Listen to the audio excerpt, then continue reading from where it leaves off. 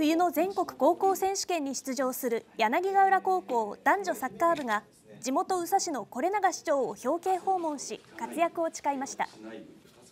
男子は18年ぶり2回目の出場でチーム初の勝利を狙います。